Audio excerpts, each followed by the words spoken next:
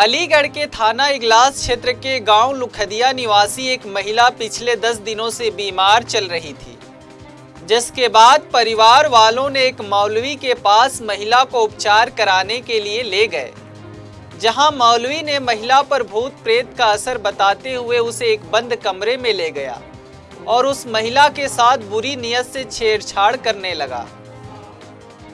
महिला की ओर से जब इसका विरोध किया गया तो मौलवी ने अपने सहयोगियों के साथ मिलकर महिला को बुरी तरह से मारपीट के बाद गंभीर रूप से घायल कर दिया, जिससे महिला बेहोश हो गई।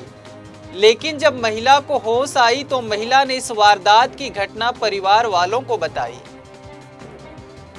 जिसके बाद परिवार वालों ने मौलवी के खिलाफ इगलास थाने में तहरीर देकर चार लोगों के खिलाफ मुकदमा दर्ज कराया जिसके बाद पुलिस ने आरोपी मौलवी आस मोहम्मद को छेड़छाड़ और मारपीट के आरोप में हिरासत में लेकर अग्रिम कार्रवाई के लिए जेल भेज दिया। इस पूरी घटना के बारे में इगलास थाना क्षेत्र के क्षेत्राधिकारी ने क्या कुछ जानकारी साझा की आइए आपको सुनाते हैं। क्या मामला है सर? आज ग्राम सतरंगी कला में थाना इलाज में। एक महिला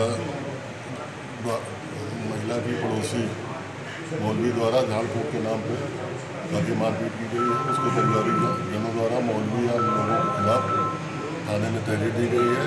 जिसमें तहरीर के आधार पर उचित धाराओं में अभियोग पंजीकृत किया गया है तथा मौलवी को गिरफ़्तार करके संबंधित धाराओं में जेल भेजा जा रहा है।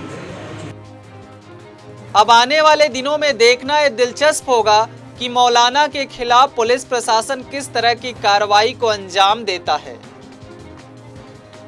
न्यूज़ डेस्क समाचार प्लस।